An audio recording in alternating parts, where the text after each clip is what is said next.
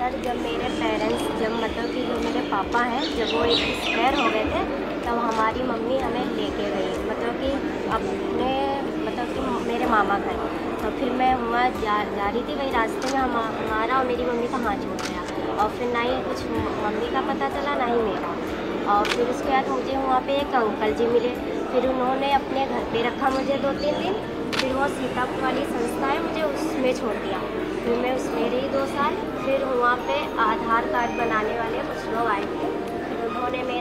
आधार card बनाया और फिर जब मैंने फिंगर्स लगाई तो उससे पता चला कि मेरा आधार कार्ड पहले से बना हुआ है फिर हमारी मैम ने हमें बुलाया फिर हमसे बताया कि बेटा तुम्हारा घर मिल गया फिर उसके बाद मेरी चाचा मैंने बात करी फिर वो हम हुआ से This is the latest, recently developed server board, which is used for uh, making supercomputer.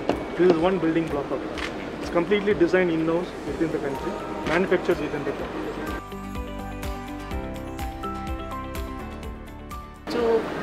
Blind बच्चे होते हैं तो उनके लिए पढ़ने में आसानी रहे। क्योंकि उनको ब्रेल तो होती है लिखने के लिए लेकिन डायग्राम्स नहीं थे पहले। तो वो साइंस के सब्जेक्ट्स नहीं ले पाते थे। क्या क्या लिखा हुआ प्राइम मिनिस्टर नरेंद्र मोदी ये मेरे लिए लाई यस सर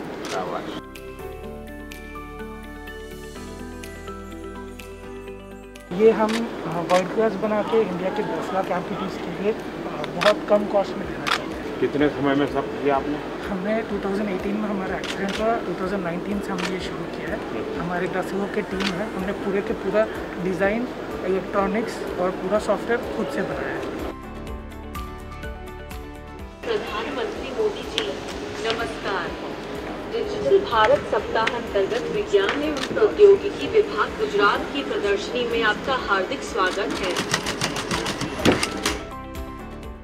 वीक हमको अफ्रीका में बुलाया गया। तो अफ्रीका में कंट्री है जिबूती उनके इंडिपेंडेंस डे के लिए हम लोग आठ हज़ार आठ सौ ड्रोन लेके गए थे और हमने वहाँ पे परफॉर्म किया।